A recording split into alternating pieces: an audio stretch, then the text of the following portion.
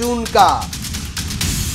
चार जून को चुनावी नतीजे आएँगे और नतीजों से पहले न्यूज़ 18 मेगा एग्जिट पोल लगातार आपको दिखा रहा है। तो अठारहवीं लोकसभा के लिए चुनाव की प्रक्रिया संपन्न हो गई। देश में सात चरणों में चुनाव हुए और थोड़ी ही देर में देश में अगली सरकार को लेकर जो अनुमान है, वो आपके सामने होगा। चार तारीख को नतीजे सामने होंगे। आज नतीजों से पहले अनुमान सामने होगा। तो अनुमान में कौन आगे है बाहर निकलकर वोट देने के बाद किसने क्या कहा वो हम लगातार आपको बता रहे हैं। न्यूज़ 18 का मेगा एग्जिट पोल। थोड़ी देर में एक अनुमान की बात हम शुरू करेंगे। तो देखिए पंचानवे हज़ार लोगों से बात की गई और तब जाकर जो डेटा तैयार हुआ है वो आपके सामने थोड़ी ही देर बाद होगा। और इसीलिए हम कह रहे हैं कि जो सैंपल साइज़ है, वो बड़ा है, क्योंकि चुनाव देश का था और ऐसे में बड़े व्यापक स्तर पर इस एग्जिट पोल के लिए डेटा कंडक्ट किया गया है। और लोकसभा चुनाव के अंतिम चरण की जो वोटिंग थी, वो अब खत्म हो चुकी है। आठ राज्यों की सत्तावन सीटों पर आज वोट डाले गए हैं। कौन कौन सी वीवीआईपी सीट रही? वीवीआईपी मतदाता रहे, वो सुबह से ही हर तस्वीर आपको न्यूज़ 18 नेटवर्क पर देखने को मिली है। और लगातार आपकी स्क्रीन में आप ये जानकारियाँ देख रहे हैं, जो एग्जिट पोल रहेगा, वो धीरे धीरे इसी टैली की शक्ल में आएगा। ऊपर आप देख पा रहे हैं एनडीए को कितना इंडिया को कितना अदर्स के खाते में कितना जाता हुआ नज़र आ रहा है। लोकसभा चुनाव 2024 ये एग्जिट पोल है। चार जून का इंतज़ार सभी को है, लेकिन चुनाव उस देश के लिए सबसे दिलचस्प मसला होता है। हर कोई जानना चाहता है कि अब क्या व्हाट इज़ नेक्स्ट और यही वजह है कि उसका ध्यान रखते हुए सबसे बड़े नेटवर्क ने यह एग्जिट पोल किया है, और अब थोड़ी देर में यह आपके सामने आना शुरू हो जाएगा। तो हर बड़ी तस्वीर आज आपको देखने को मिली है। बड़े मुद्दे जिनके साथ लोकसभा चुनाव की ये प्रक्रिया शुरू हुई थी। 200 से ज़्यादा रैलियाँ प्रधानमंत्री नरेंद्र मोदी ने की राहुल गांधी की भारत जोड़ो न्याय यात्रा 6,600 किलोमीटर का सफ़र राहुल गांधी ने इस यात्रा के ज़रिए तय किया गया तय किया। इसके अलावा दक्षिण से लेकर उत्तर तक के तमाम मुद्दों पर चर्चा हुई। खटाखट सटासट सफाचट। तो इसमें संपूर्ण सार है। खटाखट से लेकर सफ़ा छठ तक। पुनीत के पास कोई महत्वपूर्ण जानकारियाँ हैं? कुछ महत्वपूर्ण इंफॉर्मेशन है? सीधा पुनीत के पास लिए चलते हैं। Puneet over to you Lalit और अपर्णा, आपका और तस्वीरें आप तो बता ही रहे हैं, जानकारी आप बता ही रहे हैं। लेकिन बड़े लड़ैया की बात कर लेते हैं, क्योंकि देखिए, महायज्ञ जो है, उसकी पूर्णा होती थी आज। और महायज्ञ की पूर्णा होती हो गई है। अब इसके बाद यज्ञ देवता क्या फल देते हैं, वो तो चार तारीख को पता चलेगा। लेकिन जिन्होंने यज्ञ में हिस्सेदारी ली है, जिन्होंने अपनी अपनी आहुति ली है, उन सबके ऋषि मुनियों के अपने अपने अनुमान होते हैं। तो अनुमान भी पता चलेगा और यज्ञ देवता क्या परिणाम दिखाएँगे? चार तारीख को पता चलेगा, लेकिन आज पूर्णाहुति हो चुकी है और आखिरी चरण की वोटिंग जो है, वो खत्म हो चुकी है। लेकिन अब बात कर लेते हैं बड़े लड़ैया की। बड़े लड़ैया यानी कि बड़े बड़े चेहरे बड़े बड़े दिग्गज जिन्होंने खूब ताकत लगाई और खूब ताकत लगाने के बाद उनके परिणाम क्या कुछ हैं, ये जनता ने तय कर दिए हैं और ये चार तारीख को पता चलने वाले हैं। बड़े बड़े चेहरों में कौन कौन से चेहरे थे? सबसे पहले अगर बड़े चेहरे की अगर बात की जाए तो प्रधानमंत्री नरेंद्र मोदी, जिनके भाग्य का फैसला वाराणसी की जनता ने कर दिया है। आज ही फैसला हुआ है। राहुल गांधी दो दो सीटों से उन्होंने चुनाव लड़ा है। कांग्रेस के सबसे अगर स्टार कैंपेनर की बात की जाए तो राहुल गांधी जो हैं, वही रहे हैं और उन्होंने भी खूब रैलियाँ की हैं। अनुराग सिंह ठाकुर, बड़ा चेहरा। आज के अगर बड़े चेहरों की बात की जाए तो अनुराग सिंह ठाकुर, बड़ा चेहरा जो कि हमीरपुर से हैं और हमीरपुर की सबसे खास बात आपको मालूम ही है कि सुखू भी यहीं से आते हैं। और बठिंडा की बात करें तो हर सिमरत कौर बादल, ये बड़े चेहरे। बिग फेस, बिग फाइट जो है, जहाँ पर हुई आज वो तस्वीर आप देखिए, नितिन गडकरी नागपुर, ये भी बड़ा चेहरा है और नितिन गडकरी, केंद्रीय मंत्री और एक प्रकार से कहा जाए तो हर कोई इनको जानता है, इनके काम के लिए जानता है। किरण रिजिजू, अरुणाचल प्रदेश से आते हैं, अरुणाचल पश्चिम से हैं। किरण रिजिजू, आप भी केंद्र में हैं और किरण रिजिजू जो है, वो भी एक बड़ा चेहरा है तो big fight, big face big fight में ये चेहरे हैं अर्जुन राम मेघवाल। ये बीकानेर से चुनाव लड़ चुके हैं और अब इनकी किस्मत जो है वो ईवीएम में कैद हो चुकी है। इनके परिणाम चार तारीख को आने वाले हैं। अन्ना मलाई कोयम्बटूर से। देखिए, बहुत बड़ी, ये बड़ा चेहरा है। साउथ की अगर नज़र से देखा जाए तो बहुत बड़ा चेहरा है। क्या होगा इनके भाग्य का फैसला? नतीजे चार तारीख को राहुल गांधी, कांग्रेस से बड़ा चेहरा, सबसे बड़ा चेहरा। और ओम बिरला, कोटा से। आप चुनाव लड़े हैं ये बड़े बड़े चेहरे हम आपको एक एक करके बता, बताते जा रहे हैं बदलते जा रहे हैं ये चेहरे कहाँ से कौन कौन दिग्गज जो हैं वो मैदान में खड़े हुए नरेंद्र मोदी वाराणसी से आज ही उनके किस्मत का फैसला वहाँ की जनता जनता ने कर दिया उनके सामने अजय राय जो हैं वो मैदान में हैं और नरेंद्र मोदी हालाँकि साधना भी कर रहे थे अभी कंगना रनौत मंडी से बड़ी सीट है आ, क्योंकि कंगना रनौत ने यहाँ पर मैदान में उतरकर माहौल को दिलचस्प बना दिया है आ, क्योंकि बड़ा चेहरा है जाना माना चेहरा है तो क्या यहाँ की जनता ने इनके भाग्य का फैसला किया है क्योंकि वोट तो डल चुका है। आज ही इन्होंने भी वोट डाला, बड़ा मुस्कुराते हुए ये वोट करती हुई नज़र आई। लेकिन क्या ये मुस्कुराहट बरकरार रहेगी? जनता ने क्या कुछ तय किया है? ये तो आने वाले दिनों में पता चलेगा, चार तारीख को पता चलेगा, जिस दिन नतीजे सामने आएँगे। लेकिन बड़े और मेरठ, देखिए, मेरठ जैसी महत्वपूर्ण सीट और राम का किरदार, जो राम को लाए, आपको याद होगा चुनाव में बहुत सारी चीज़ें चली। लेकिन अरुण गोविल मेरठ से हैं, राजनाथ सिंह लखनऊ से चुनावी मैदान में है। इनकी सीट के भी का भी फैसला जो है, वो हो चुका है। बड़े बड़े चेहरे स्मृति ईरानी, अमेठी से ये बड़े चेहरे, बड़े लड़ैया जो हैं, उनकी हम तस्वीर आपको दिखा रहे हैं। पीयूष गोयल मुंबई उत्तर से पहले राज्यसभा में थे, अब उनको मैदान में उतारा गया। उज्जवल निकम, एक बड़ा चेहरा जाना माना मुंबई उत्तर मध्य से इन्हें टिकट दिया गया मनोहर लाल खट्टर मुख्यमंत्री से इसके बाद उनको लोकसभा में उतारा गया। करनाल से आप चुनाव लड़ रहे हैं। महबूबा मुफ्ती अनंतनाग से लड़ रही हैं, चुनाव लड़ रही हैं, और इसके अलावा धर्मेंद्र प्रधान संबलपुर से ये भी बड़ा चेहरा है, मोदी सरकार का बड़ा चेहरा, अरुण गोविल बड़ा चेहरा, जाना माना चेहरा है ही, और पहली बार उतरे हैं, देखना होगा कि क्या कुछ जनता ने भाग्य का फैसला किया, चार तारीख को पता चलेगा, लेकिन इस वक्त सीधे चल रहे हैं, ललित और अपर्णा की बात ओवर टू बिल्कुल, और लगातार आपने देख लिया कि बिग फाइट किन के बीच है, कौन वो बड़े चेहरे हैं जिन पर सबकी निगाहें टिकी हुई हैं। पूरे देश की निगाहें किन चेहरों पर टिकी रहेंगी? मध्य प्रदेश छत्तीसगढ़ पर खास फोकस है हमारा, लेकिन राष्ट्रीय स्तर पर वो कौन से चेहरे हैं जिनकी सीट बहुत दिलचस्प हो चली है, इस चुनाव में उन पर भी नज़र बनी हुई है। देखिए, जब बात होती है एग्जिट पोल की तो एग्जिट पोल जिसके फेवर में आता है, वो तो कहता है वो गदगद होता है, लेकिन जिसके फेवर में नहीं आता है, वो कहता है कि नतीजों का इंतज़ार कीजिए।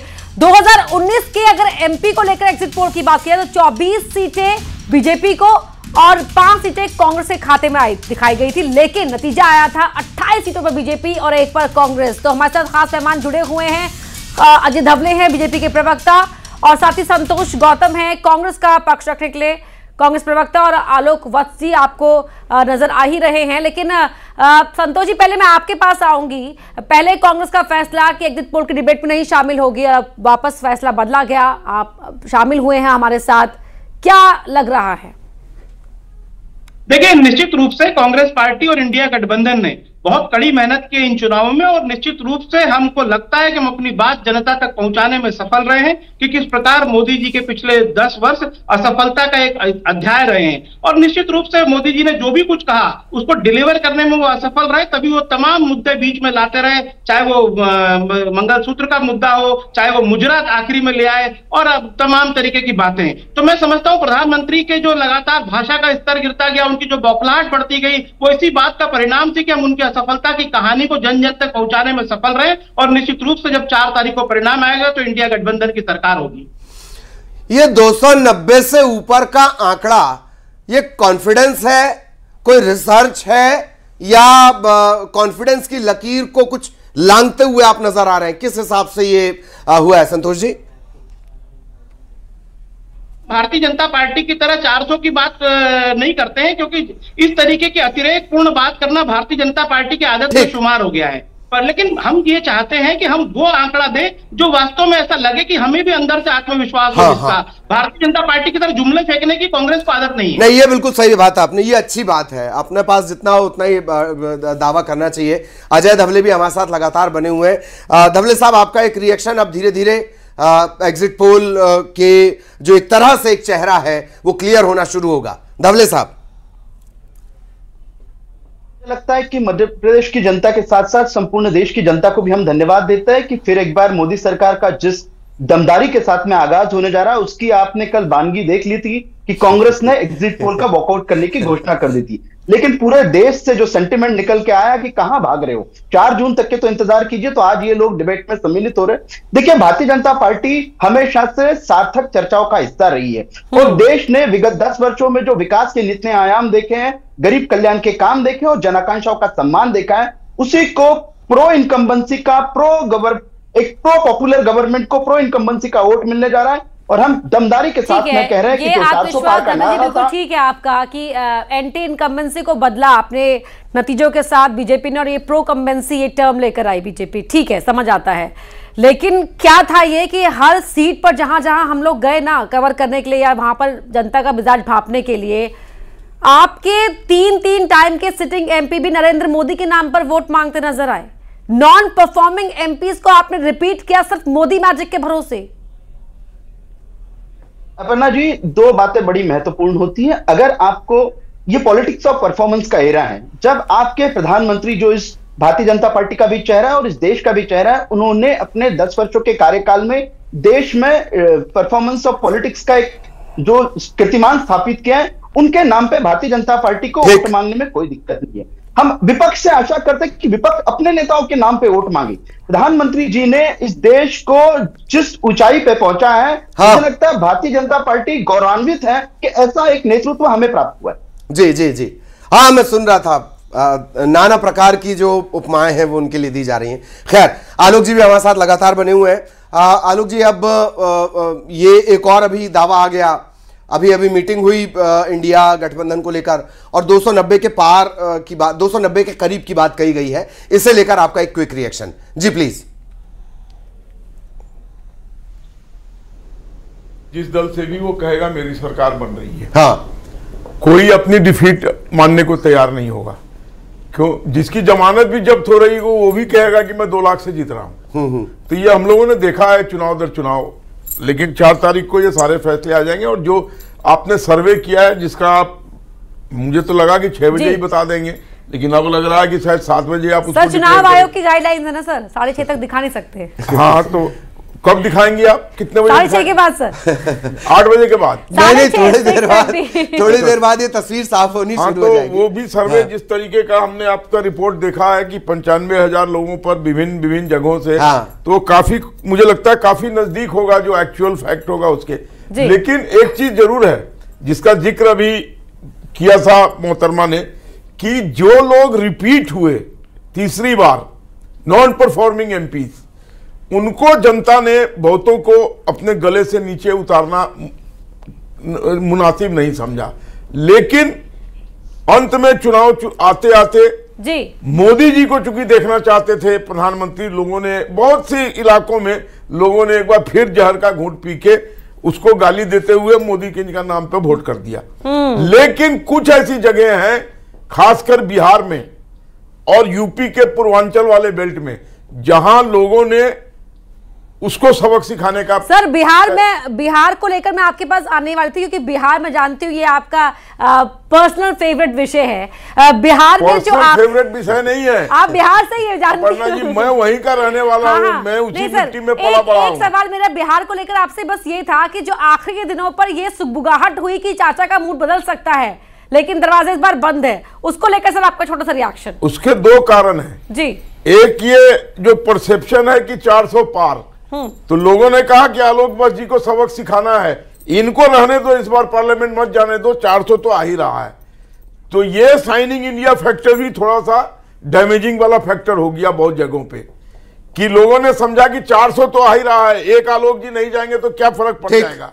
तो ये ये ये ये कुछ जगहों पर ये इस तरीके की लोगों के अंदर फीलिंग थी। जी, जी। और दूसरी बात कि बिहार में अंतोगतवा सर आगे बढ़ रहे हैं। राजीव चक्रवर्ती जुड़े हुए हमारे साथ। ललित जी आपके पास कोई सवाल राजीव हाँ हाँ राजीव चक्रवर्ती साहब हमारे साथ जुड़े हैं। बहुत स्वागत है आपका।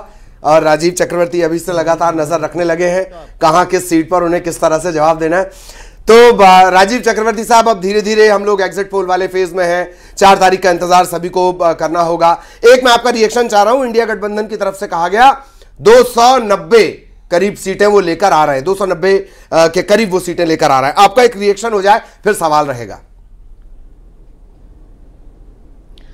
देखिए, सबसे पहले तो आपके लोकप्रिय चैनल के माध्यम से जो पूरे चुनाव में जो लोग आपके मीडिया कर्मी, सैन्य कर्मी, तमाम लोगों को मैं शुभकामना देता हूँ, उनको धन्यवाद देता हूँ। और हमारे राजनीतिक बंधुओं को भी धन्यवाद देता हूँ कि बहुत मेहनत की है। लेकिन देखिए, कहावत है कि सपने सपने देखने में कोई बात नहीं होती। सपने तू भी देख, मैं भी देख। लेकिन हकीकत कुछ और होता है, फसाना कुछ और होता है। तो हकीकत तो ये है कि इंडी गठबंधन तो अपने आप को समेटने में बहुत समय लगा दी।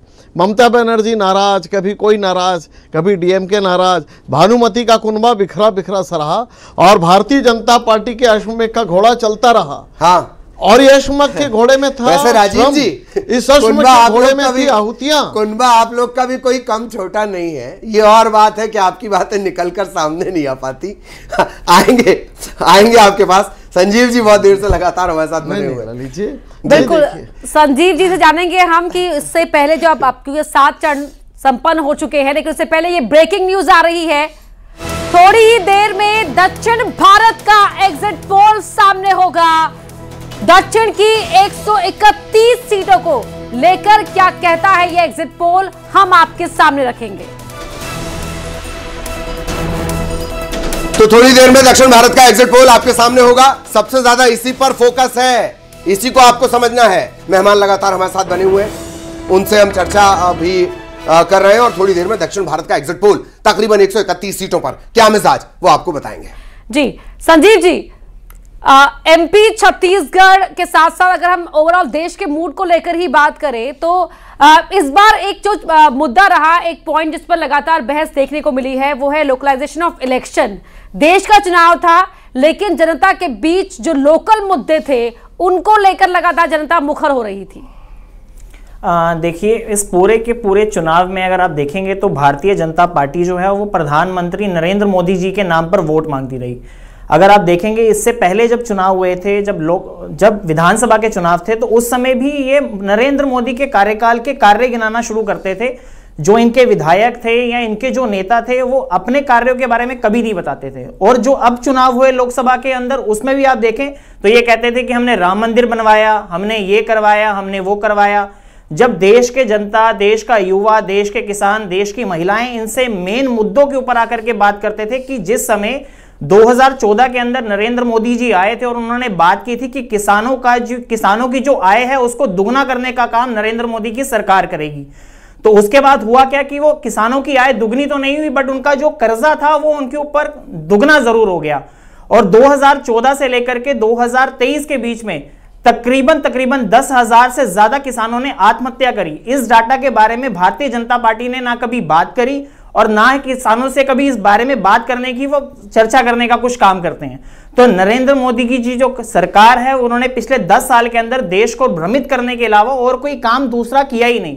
अगर आप देखेंगे पूरे के पूरे इलेक्शन के अंदर, सिर्फ़ और सिर्फ़ भारतीय जनता पार्टी के प्रवक्ताओं ने क्या किया? नरेंद्र मोदी जी को भगवान के साथ कंपेयर करने का और नरेंद्र मोदी जी को भगवान से ऊपर दिखाने का काम किया। अगर आप थोड़े समय पहले देखें जो पुरी से लोकसभा कैंडिडेट थे इनके जो भारतीय जनता पार्टी के प्रवक्ता भी हैं उन्होंने जिस तरीके से मदन- संदीप पात्रा जी ने जिस तरीके से बयान दिया पात्रा जी हाँ हाँ, संदीप पात्रा ने जिस तरीके नहीं नहीं आप राजनीतिक संदीप पात्रा जी ने जिस तरीके से बयान दिया अगर आप देखें तो इनका मानसिक स्तर किस तरीके से गिर चुका नहीं, है। माफ़ी भी मांग दी और कहा कि वो एक उपवास भी दिन बाद हाँ, अपर्णा जी एक दिन बाद माफ़ी मांगी गई नहीं, दिन तो माफ़ी मांगी नहीं गई। और उन्होंने ये और कहा एएनआई से कि अगर कोई भी सहज इंसान इस तरीके की बात ही नहीं कर सकता मतलब वो ये बात खुद मान चुके हैं कि महज सहज हुई नहीं। ठीक मेरी मानसिक संजीव जी हाँ नहीं। नहीं आपको हमने पूरा सुना। इसका एक दूसरा पहलू भी है उससे जुड़ा एक सवाल मेरा रहेगा लेकिन इस वक्त हम आप सभी को रोक रहे हैं। एक छोटे से ब्रेक के लिए रुकेंगे और ये